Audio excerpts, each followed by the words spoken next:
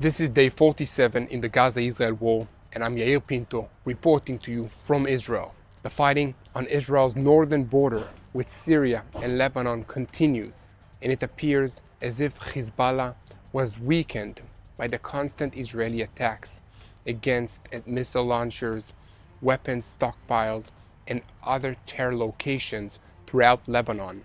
Hezbollah's biggest ally, the Islamic Republic of Iran, is attempting to send more and more weapons supply through Syria. The Israeli Air Force, together with the United States Air Force, are monitoring the Syrian skies and are locating more weapons stockpiles, weapons convoys, and recently an airfield that was used by Iran to transport new ammunitions that included long-range missiles to Hezbollah in Lebanon. The Israeli Air Force, together with the United States, using a special airplane bomber, were able to destroy the entire airfield while neutralizing all the terrorists inside. In another incident in Syria, the United States Air Force was able to identify a convoy of trucks disguised as UN humanitarian trucks. The Israeli intelligence was able to identify and revealed that these trucks were not sent by the United Nations and the United States was able to destroy this convoy. Later it was revealed that these trucks were transporting long-range missiles into Hezbollah in Lebanon.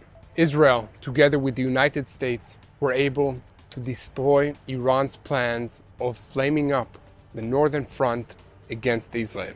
And during attacks that targeted Hezbollah leaders inside bunkers in Lebanon, the IDF was able to neutralize multiple Hezbollah leaders, causing Hezbollah to send four terror units to retaliate by attacking an IDF military base in Israel.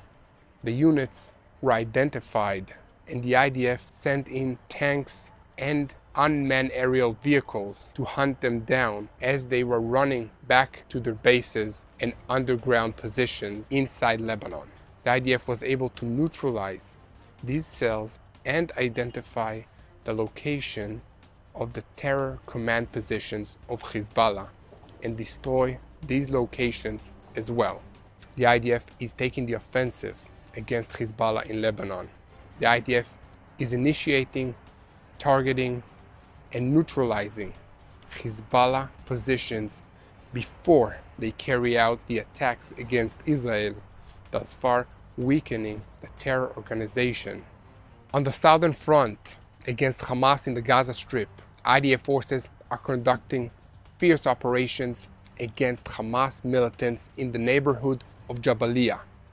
In this neighborhood, Hamas is operating from the area of the Indonesian hospital, just like they did within the Shifa Medical Center.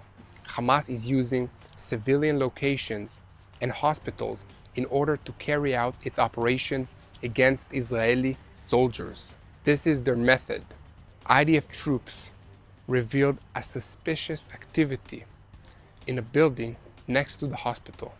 IDF troops that was monitoring the area identified a suspicious activity that was taking place in a building next to the Indonesian hospital. In this building, they saw a group of Hamas terrorists that were disguised as the Red Crescent humanitarian organization that is supposed to help wounded civilians. After monitoring them, they saw that Hamas was kidnapping civilians and using them as human shields in order to reach an underground weapon stockpile and deliver it to its terrorists throughout Jabalia area. The IDF was conducting a fierce battle that took 10 hours in an attempt to neutralize these terror elements using tanks and other special units. While the tanks approached the terrorists, Hamas's militants opened fire, thus allowing the Israeli troops to differentiate between them and the civilians. This fight took 10 hours, but at the end, the IDF was able to neutralize Hamas' terrorists and release the Palestinian civilians that were taken as hostages to be used as human shields. The IDF took over that weapon stockpile and destroyed Hamas militants in that area. We know how Hamas is operating. We know that it is using the civilian population in the Gaza Strip as human shields. We know that it is lying to the international community. A deal was struck between Israel and Hamas to release some 50 Israeli hostages in exchange for 150 Palestinian prisoners. Already, we hear that some of the Israeli hostages to, that were supposed to be released were found dead within Hamas captivity. I call on all of you to join us in prayer for the safe release of the Israeli hostages from within Gaza and for the IDF to continue its mission to destroy this evil, Hamas, from Israel before it spreads to the rest of the world.